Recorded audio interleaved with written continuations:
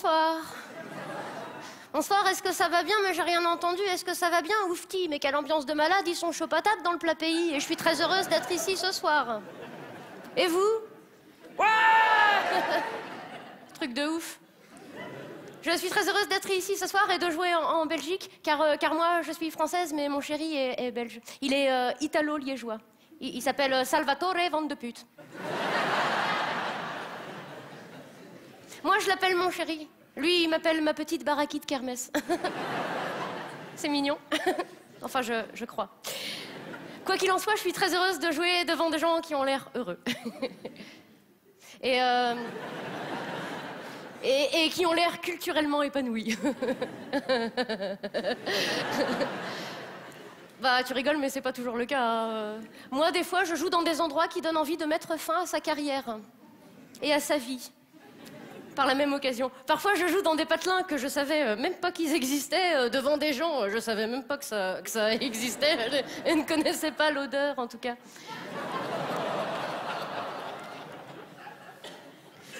Parfois, je joue devant euh, que des personnes âgées, parfois même très âgées, parfois même usagées.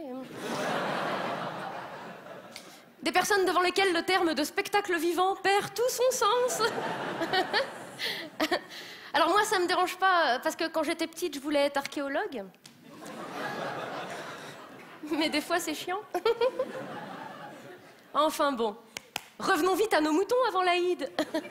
parce qu'après... bah après, ils sont plus là, hein Bonsoir.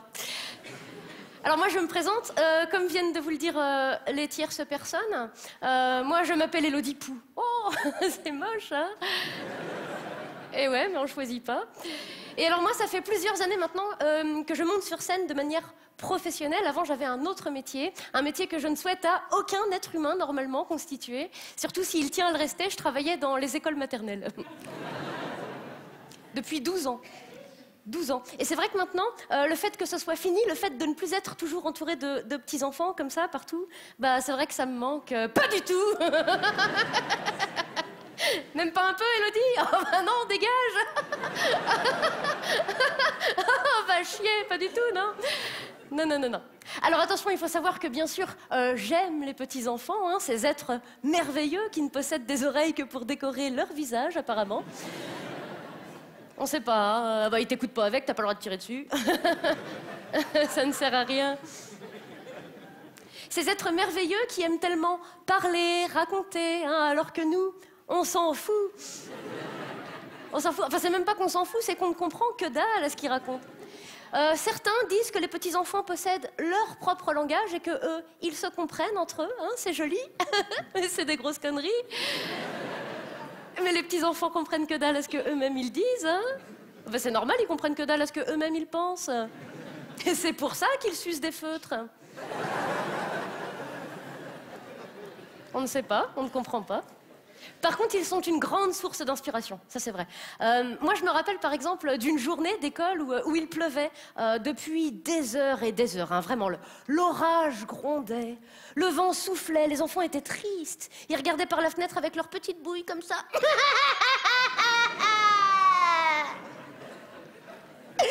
C'est pas juste Il est Je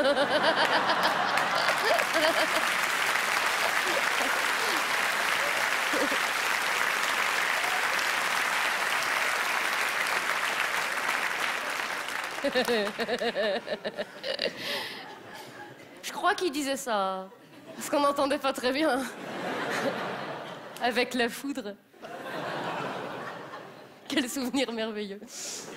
Eh ben c'est ce jour-là euh, après les avoir fait rentrer euh, et sécher, euh, que j'ai démissionné. enfin, je suis, partie. enfin, on m'a demandé de bien vouloir jamais revenir.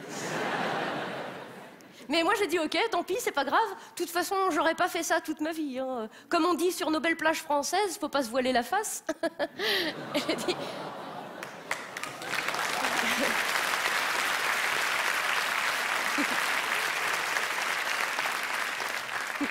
J'ai dit tant pis, c'est pas grave. Trouvons un, autre métier. Trouvons autre chose. Hein. Euh, mais quoi? Moi, je voulais un métier où tu travailles que le soir et où c'est bien payé, mais je suis allergique au latex.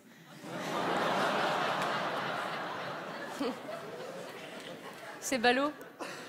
Alors j'ai dit bon, l'humour, euh, pourquoi pas. J'ai choisi l'humour pour raconter comment j'ai survécu. Parce que c'est vrai, euh, comment survivre Comment survivre à 12 années d'école maternelle Comment survivre à 8 heures par jour dans une classe de 17 mètres carrés avec 42 enfants de 3 ans qui peuvent pleurer pendant une demi-heure parce que leur prénom a été écrit en bleu Comment survivre face à un enfant qui chiale sa race qui chiale sa race à la cantine parce qu'il veut pas manger les petits pois parce que les petits pois ils sont trop cuits. Ah ils sont trop cuits tes petits pois. Mais c'est peut-être parce que c'est des lentilles, connard.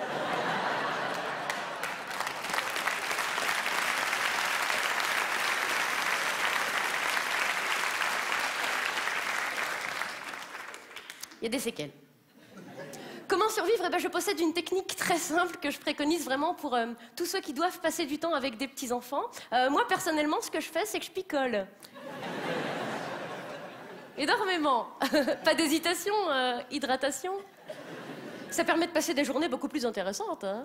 avec tous les petits-enfants, avec, avec le petit Clitis. Clitis, que sa mère a appelé comme ça parce qu'elle adore Clitis Wood. Wouh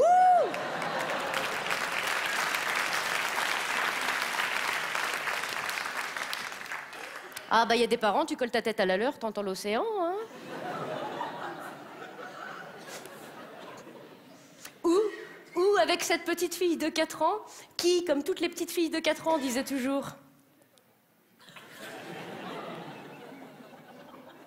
Je suis une princesse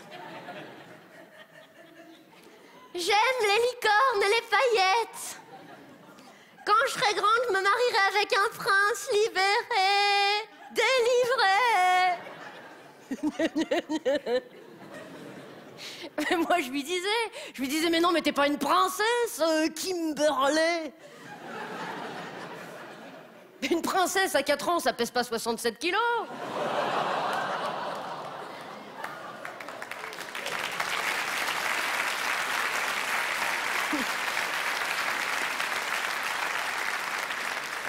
Ah bah moi j'ai regardé tous les Walt Disney, j'ai jamais vu un truc pareil. Hein. Ah bah elle était gracieuse comme une boîte de thon. Hein. Oh tous les cheveux gras, l'eczéma, t'aurais dit une otarie qui a chopé la myxomatose. En plus, moi je pense que les parents ne devraient pas laisser des enfants en surpoids porter des leggings. Tu vois, surtout des leggings à imprimer zèbre ou léopard. Oh, le résultat final est une insulte au règne animal, hein. Je lui disais, mais mets des leggings avec des écailles, ça fera ton sur ton.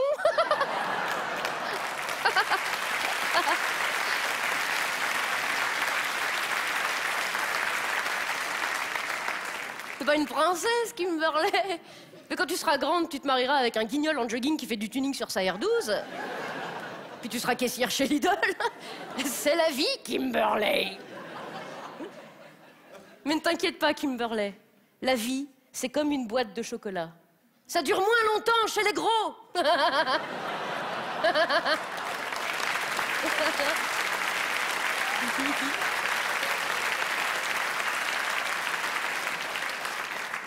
Et puis Kimberley, pour te finir.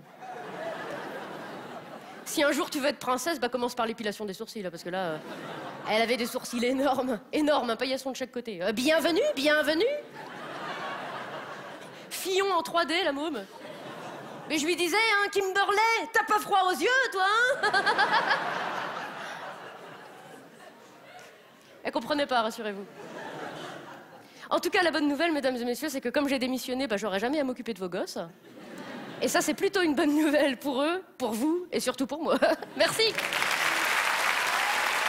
Sa folie et son énergie, on en est fou. Elodie, pouf